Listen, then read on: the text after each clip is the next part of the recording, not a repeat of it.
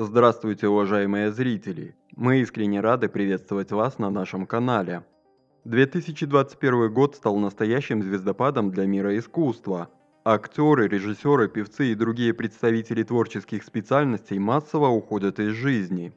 Сегодня мы вынуждены сообщить вам прискорбную новость. Ушел из жизни выдающийся актер, творческий путь которого оставил яркий след в современном искусстве – Настоящий патриот, преданный национальной культуре своей страны.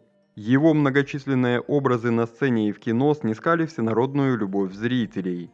Светлая память об этом замечательном человеке всегда будет жить в наших сердцах. Борис Корчевников, ведущий программы «Судьба человека» на телеканале «Россия», выразил свои соболезнования в связи с уходом известного артиста.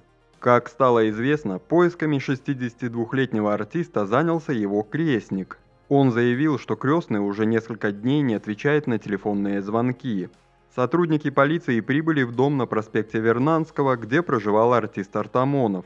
Причины его смерти пока не ясны, но о криминале речи не идет.